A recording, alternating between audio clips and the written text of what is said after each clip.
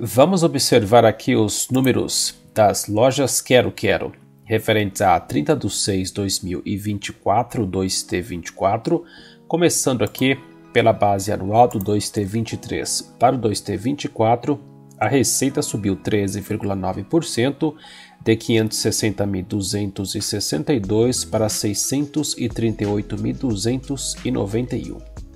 Resultado bruto, lucro bruto subiu 17,5%. Resultado lucro operacional passou de 15.977 para um prejuízo operacional de menos 20.754. Resultado antes dos tributos sobre o lucro aumentou aqui de menos 13.208 aqui o prejuízo para menos 74.426, aumento aqui no prejuízo antes dos tributos. Vamos ver detalhes da RE resumida aí com as despesas financeiras. E o prejuízo do período passou de menos 5.872 para menos 56.353. A margem bruta subiu 1,07 pontos percentuais de 33,63% para 34,7%, margem operacional de 2,85% para menos 3,25% e a margem líquida de menos 1,05% para menos 8,83%. Então aqui temos de interessante aí ganho de receita, porém aqui já no resultado operacional com as despesas, fechou no vermelho aqui, hein? E com as despesas financeiras também aqui, fechando no vermelho e um prejuízo aqui maior, hein? Vamos ver aqui agora na base sequencial trimestral do 1T24 para o 2T24, a receita subiu 8,5% de 588.329 para 638.291. Resultado lucro bruto subiu 7,3%, resultado operacional saiu de um lucro para um prejuízo operacional. Aqui também resultado antes dos tributos sobre o lucro de lucro para prejuízo e o lucro aqui do 1T24 de 53.923 para um prejuízo de menos 56.353. A margem bruta recuou 0,39 pp, margem operacional menos 14,72 pp e a margem líquida de 9,17% para menos 8,83%. Então aqui temos de positivo aí também o ganho de receita, hein? porém aqui a partir do resultado operacional não foi muito interessante. Hein? Vamos ver aqui alguns detalhes da RE resumida 2T23 para o 2T24 a receita subiu 13,9% e os custos aumentaram 12,1%, de menos 371.841 para menos 416.815. Com isso, o resultado bruto subiu 17,5% de 188.420 para 221.476. As despesas, receitas operacionais, saldo negativo, despesas aumentaram bastante aqui, em 40,5%, de menos 172.443 para menos 242.230. Como isso fechou aqui o resultado lucro operacional 2T23 15.977 para um prejuízo operacional aqui de menos 20.754 com um aumento bem expressivo aqui das despesas. Hein? Resultado financeiro líquido passou de menos 29.186 para menos 53.672 com despesas financeiras mais elevadas.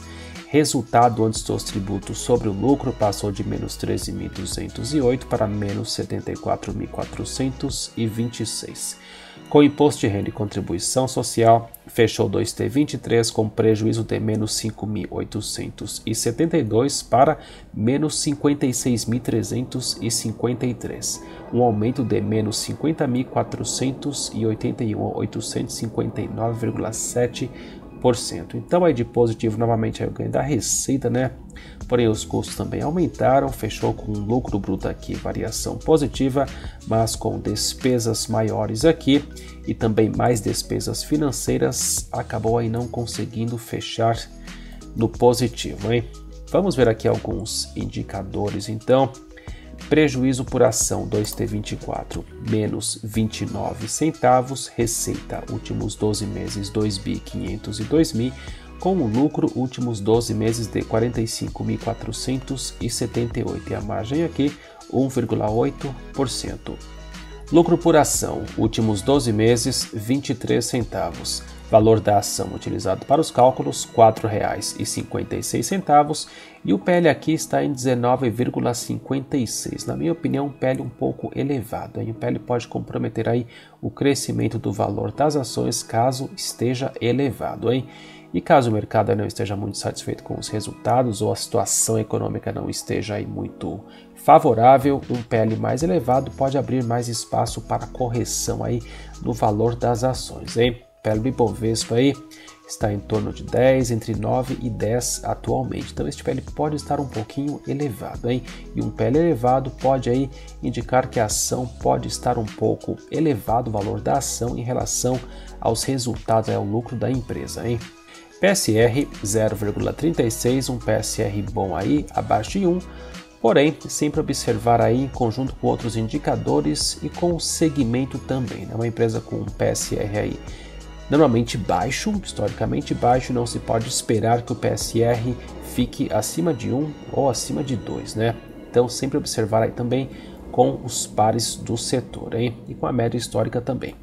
PVP 1,57, estamos pagando aqui, ó, R$ 4,56 por uma ação que vale R$ 2,90 de acordo com o valor patrimonial por ação. PVP aqui múltiplo 1,57, ou seja, estamos pagando 57,1% a mais. Retorno sobre o patrimônio líquido 8%, retorno interessante estaria em torno de 15%, acima de 15%, retorno médio aqui, valor de mercado 889.532 com dividendos nos últimos 12 meses 3,6%. Alavancagem considerando aqui uma dívida líquida negativa, posição de caixa positivo aqui, muito bom, menos 206.362 aí dívida negativa caixa positivo, ok? Patrimônio líquido 566.240. Então aqui tudo certo em relação à dívida, ok? Dívida negativa, caixa positivo. Vamos ver o gráfico aqui no comecinho de 2024 aqui na primeira semana, lá no 5,62, máximas aqui no ano lá no 6,16 e agora aqui nos 4,56, hein? Vamos observar aqui mais alguns números. Do 1T23 para o 2T23, a receita recuou 0,3% de 561.676 para 560.262 e o prejuízo aqui de menos 22.357 caiu para menos 5.872, menos 73,7%. Aqui no 3T 23, a receita subiu 11% e o prejuízo voltou a subir aqui, menos 12.252, 108,7% a mais.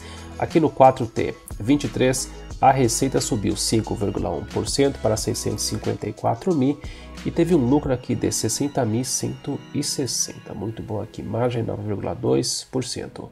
Aqui no T24, a receita recuou 10% para 588.329 e o lucro caiu um pouquinho aqui, menos 10,4% para 53.923. Aqui já observamos um T24 para o 2T24. Vamos ver aqui então semestres, né? Estamos já com o primeiro semestre fechado agora em 2024. Do 2S 2023 para 1S 2024, a receita caiu 3,9% de 1 bi 276 mil para 1 bi 226 mil. E o lucro aqui de 47.908 para um prejuízo de menos 2.430. Comparando aqui semestres iguais, do 1S 2023 para 1S 2024, a receita subiu um pouquinho aqui, de 1 bi 121 mil para 1 bi 226 mil. E o prejuízo reduziu de menos 28.229 para menos 2.430. Muito obrigado por sua atenção e até a próxima.